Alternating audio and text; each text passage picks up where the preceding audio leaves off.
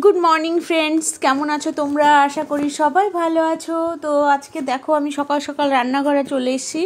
সমস্ত কাজ গুছিয়ে। তো এবার আমি আগে রান্নাটা করে নেব। আমি অলরেডি ডালটা করে নিয়েছি।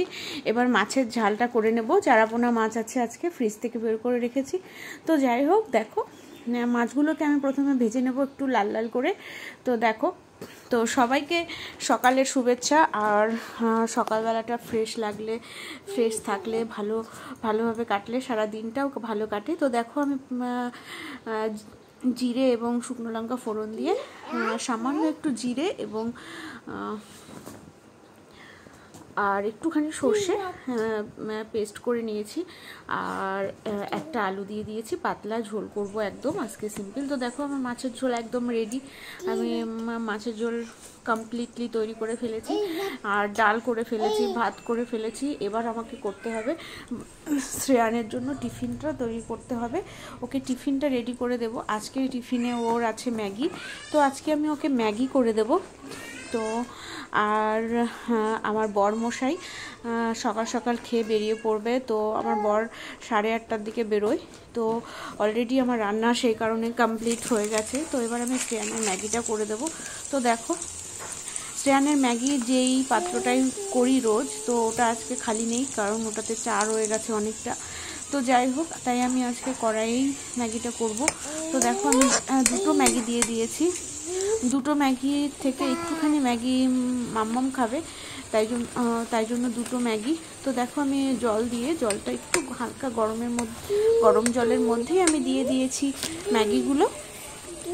তো ম্যাগিটা ফুটে গেলে, দেখো এবার আমি মশলাটা দিয়ে দেব। দুটো ম্যাগি, দুটো মশলা, তো দুটো মশলাই আমি দিয়ে দেব। তো তোমরা বন্ধুরা কেমন আছো? আশা করি সবাই ভালোই আছো, সুস্থই আছো। তো দেখো আমি এবার ম্যাগি মশলাটা দিয়ে দিচ্ছি। অ্যাকচুয়ালি ম্যাগিটা খুব সিম্পল তার কারণ টিফিনেও সুবিধা হয়। আর সপ্তাহে একদিন ম্যাগি হয় মামা বাবাইয়ের।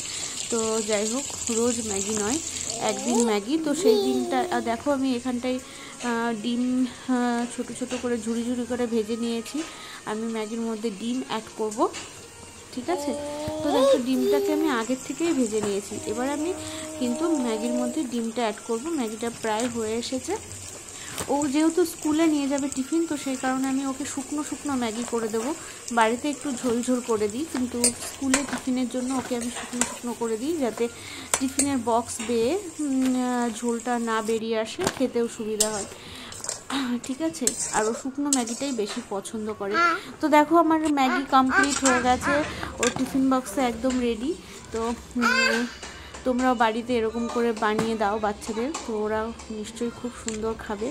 তো বাচ্চাদেরকে সুন্দর সুন্দর খাবার বানিয়ে দিতে হবে যাতে ওরা নিজে ইচ্ছে করে ভালোবেসে খাবারটা খায়। ঠিক আছে? তো যাই হোক দেখো আমার ম্যাগি একদম রেডি তুমি স্পুন দিয়ে দিলাম একটা। কাটা স্পুন ও নিতে চায় না, তার কারণ কাটা স্পুন দিয়ে ওর খেতে ভালো লাগে না, তো ও এই স্পুনগুলোই নিতে পছন্দ করে, তো সেই কারণে ওকে আমি এই স্পুনগুলোই দিই। এই স্পুনগুলো দিলে যদি একটু ঝোল থেকে যায়, তাহলে ঝোলটা ও সুন্দরভাবে তুলে খেতে পারে। তো যাই হোক, আজকের মধ্যে সবাইকে টাটা, সবাই ভালো থেকো, বাই।